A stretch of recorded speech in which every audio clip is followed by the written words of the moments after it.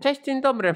Tadej Pogaczar i Grace Brown wygrywają Lierz-Baston-Lierz, ostatni y, wiosenny monument. Zamykają tym samym sezon wiosennych klasyków i to są najważniejsze wydarzenia e, w wyczynowym kolarstwie szosowym mijających dni, a ja nazywam się Marek Tyniec i właśnie tym się dla Was zajmuję, to znaczy komentowaniem i podsumowywaniem tychże właśnie najważniejszych wydarzeń w wyczynowym kolarstwie.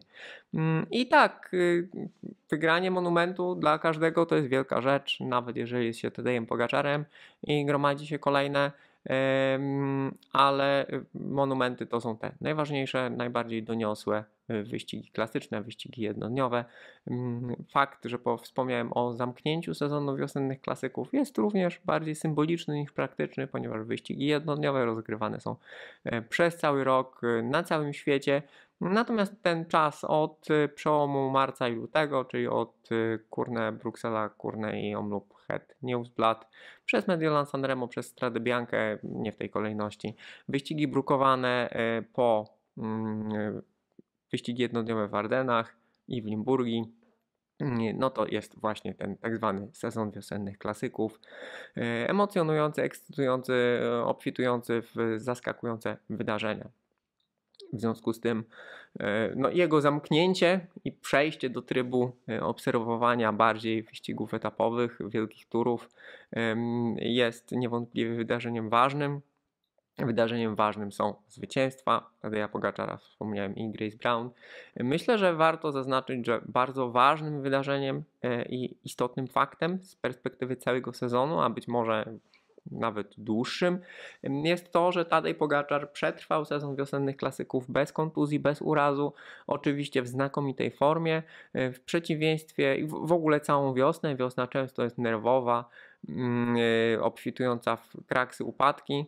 No i tak naprawdę to, co jeszcze dwa miesiące temu wydawało się trudne do wyobrażenia, było raczej tym mniej mniej prawdopodobnym scenariuszem, czyli e, walka o słynny, legendarny kolarski dublet Giro d'Italia Tour de France jest zdecydowanie bardziej prawdopodobne niż jeszcze zimą, ponieważ Pogaczarowi wykruszają się kolejni rywale i albo ich start w Tour de France jest w ogóle pod znakiem zapytania, albo ich forma będzie pod znakiem zapytania. Podobnie ma się, e, ma się podobnie mamy do czynienia z rywalami, potencjalnymi rywalami na trasie Giro d'Italia. Zatem e, Tadej Pogaczar no, stoi przed historyczną szansą. Oczywiście musi najpierw przetrwać, zwłaszcza przetrwać pierwsze tygodnie rzeczonych wyścigów, które podobnie jak sezon wiosennych klasyków są często nerwowe i obfitują w kraksy, jakieś inne incydenty, a po drugie musi te wyścigi wygrać, czyli być mocniejszy niż jego rywale, niż swoi rywale zatem to jest jeszcze długa droga, natomiast jest bardziej prawdopodobna. Na Lierz-Bastonierz Tadej Pogaczar pojechał jak po swoje. Mm, czy miał równorzędnych rywali, czy nie, trudno powiedzieć. E, miał też trochę szczęścia. To jest e, warte tutaj podkreślenia, ponieważ kraksa na progu zwalniającym spowodowała, że peloton podzielił się. Z tyłu zostali Vanderpool i Pitcock anonsowani jako główni rywale Pogaczara w tym wyścigu. Tutaj drużynie Emiratów pomogła również drużyna Izrael Premier Tech, więc uf, e, ciężki temat, no ale e, tutaj współpraca właśnie drużyny Izraela z drużyną z Emiratów wydaje się być specyficznym faktem, biorąc pod uwagę sponsorów czy też fundatorów tych drużyn, no ale come on, sport, sport łączy, a nie dzieli.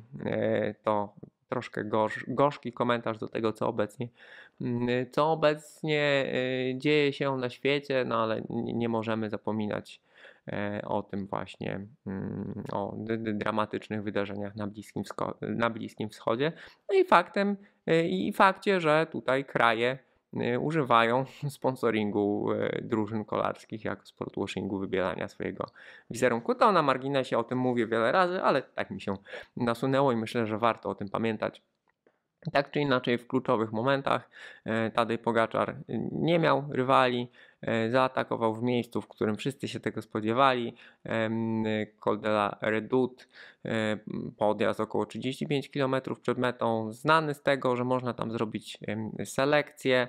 E, próbował za nim podążać jedynie Richard Carapaz, ale nie był w stanie. Natomiast jeśli chodzi o pogoń, to ta pogoń się zjechała nieco później w walce o trzecie miejsce, ponieważ z pogoni kontratakował Romain Bardet. Drugie miejsce dla niego to prawie jak zwycięstwo. To już jest bardzo doświadczony kolarz, znakomity góral, e, który ewidentnie odnalazł się w drużynie DSM, znalazł tam kolejną młodość. To jest e, ciekawe, dlatego że wielu zawodników no, ma problemy z drużyną DSM. Mm, to jest ekipa, która ma dosyć e, specyficzną politykę wewnętrzną dotyczącą żywienia, treningu, sprzętu itd. Tak bardzo to ewidentnie pasuje. No, jest zawodnikiem dość pechowym, ale w zeszłym roku pokazywał znakomitą dyspozycję.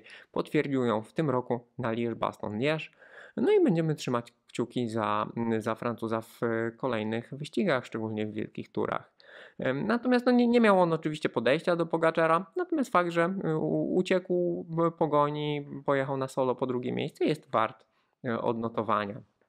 Vanderpool ostatecznie, kiedy to wszystko się zjechało, on pojechał bardzo mądrze, e, ostatecznie zafiniszował po trzecie miejsce, co z jednej strony Tomasz Jaroński skwitował tym, że jest to wymęczone trzecie miejsce i że e, gdy za kilka lat spojrzymy na wyniki, to pomyślimy, że dwuminutowa strata do Pogaczara i trzecie miejsce to nie było tak daleko. Ja na to patrzę z zupełnie innej perspektywy, no bo z jednej strony to jest porażka Vanderpoola, e, bo wyścig ułożył się tak jak się ułożył, z drugiej strony Holender kolekcjonuje, kolekcjonuje wyniki w wiosennych klasykach, to jest imponujące to co robi. Przypomnijmy, no, odegrał kluczową rolę w zwycięstwie Jaspera Philipsena na Mediolan Sanremo. Następnie e, wygrał Flandrię, wygrał Paryż-Roubaix, Liège-Bastogne był trzeci. To jest, y, no, to jest znakomite. To jest znakomite to, co zrobił. Mm, I y, cóż, no, trzecie miejsce z jednej strony porażka, z drugiej strony podium monumentu kolejnego do kolekcji i to otwiera, to podium monumentu otwiera dyskusję na temat tego, czy Matthew Van Der Poel może wygrać Liège-Bastogne. Myślę, że z metą Fans, y, czyli tam y, za tym słynnym zakrętem przy stacji benzynowej, y, kiedy końcówka była bardziej górzysta i meta była na takim, na płaskim, ale po podjeździe, a wcześniej była jeszcze, był Côte San Nicolas, czyli taki podjazd w mieście, też stroma ścianka. Myślę, że szansa byłaby mniejsza. Teraz Liège-Bastogne, mimo że obserwujemy właśnie te długie ataki ostatnio na, na Redoute, no to mamy finish na płaskim, który Vanderpool wygrał. On ten finish na płaskim o dalsze miejsce, wcześniej o szóste, teraz o trzecie, wygrał po raz kolejny. Wcześniej zdarzyło mu się to w pandemicznym 20 roku. Co pokazuje, że on jest w stanie przetrwać e, to przewyższenie około 4000 metrów e, na tym niemal 260-kilometrowym dystansie, co jest co jest ważne, co jest ważne i skutecznie zafiniszować. Pytanie, czy Gdyby jechali razem, byłby w stanie mm, nawiązać rywale, rywalizację z Pogaczarem? No nie sądzę. No nie sądzę. Z drugiej strony na Flandrii, na Brukach, gdzie oczywiście tego przewyższenia było mniej, ale było większe, y, większe zmęczenie ze względu właśnie na jazdę po Bruku, on nie miał daleko.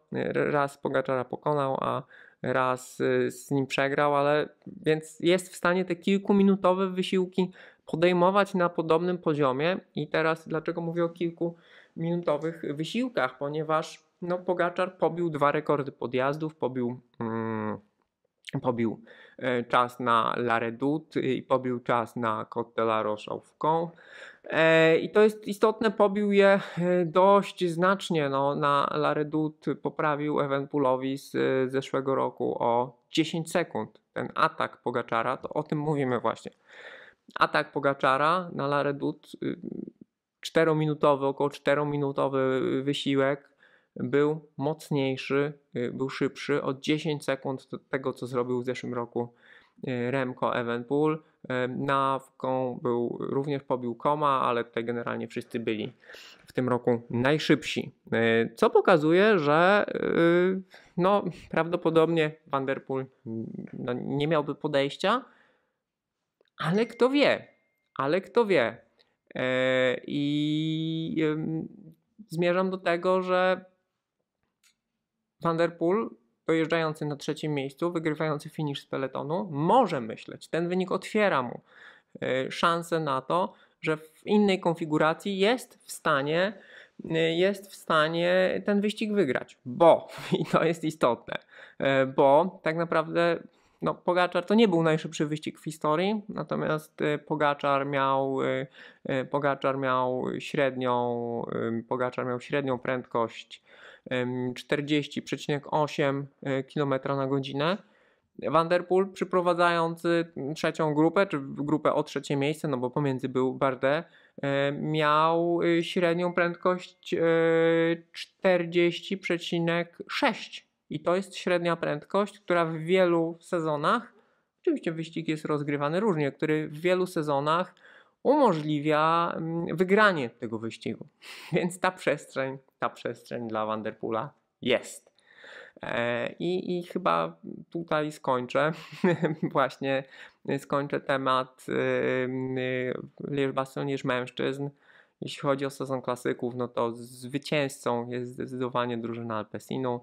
Na drugim miejscu warto postawić Emiraty i Tadeja Pogaczara po prostu. Mm, no a przegranymi są kolarze Wisma, Liza Bike, Wisma Lab. Przegranymi są kolarze ekipy e, Sudal Quickstep, e, bo no nie, nie dali rady, taka prawda.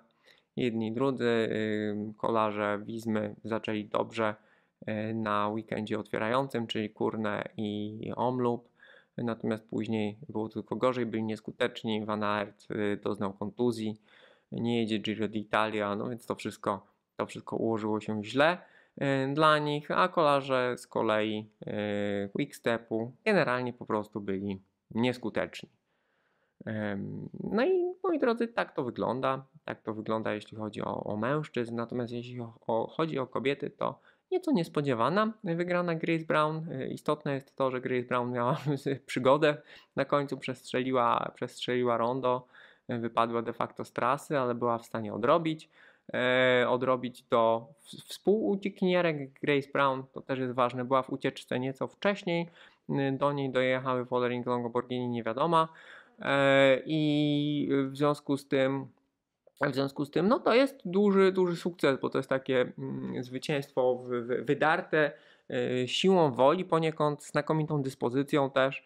Mm, no ale co jest ważne, też do pewnego stopnia nieskutecznością zawodniczek Canyon Ram, no bo y, Katarzyna Niewiadoma, która ostatecznie była piąta, która w końcówce pierwsza zdecydowała się finiszować, miała y, do pomocy Elise Chabey, E, Szwajcarkę ze swojej drużyny, która była wcześniej w ucieczce z Grace Brown, więc miały jako jedyne przewagę liczebną. To też jest ciekawe, że y, no, przewagi liczebnej nie miały zawodniczki SD Works, tutaj była osamotniona Wollering, nie miały e, zawodniczki Lidl Trek.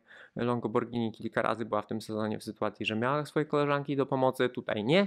E, no a mimo to Katarzyna Niewiadoma i Elise Chabey rozegrały to nieskutecznie a Grace Brown y, jest pierwsza, natomiast w kontekście Katarzyny Niewiadomej, no to pamiętamy wszyscy, że e, wygrała walońską strzałę w tych trudnych warunkach.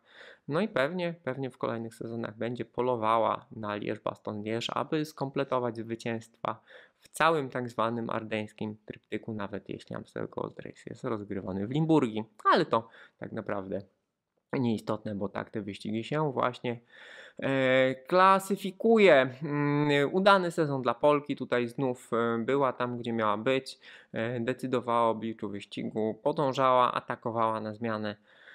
Był to dobry wyścig w jej wykonaniu, no ale zakończony, tak jak wspomniałem, podjęciem pewnego ryzyka na finiszu i przegraną.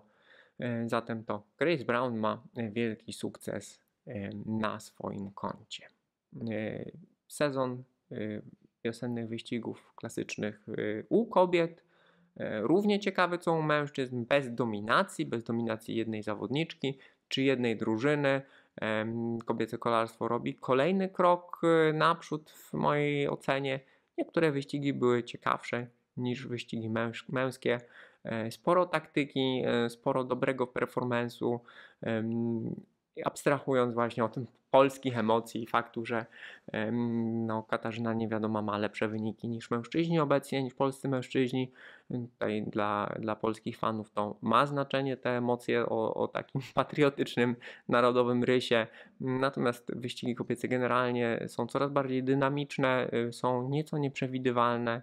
E, I tak jak wspomniałem, brak y, dominatorki, brak dominującej drużyny Y, co obserwowaliśmy w peletonie męskim, gdzie w zasadzie ci zwycięzcy w tym roku byli no, do przewidzenia. Oczywiście no, wygrana Jaspera Philipsena w Mediolan Sanremo jest zaskoczeniem, ale tylko niewielkim. Z przebiegu wyścigu uważnie obserwując można e, było, patrząc na to w jakiej formie Aspen Philipsen był, można było przewidywać, że gdy dojedzie do finiszu to go wygra.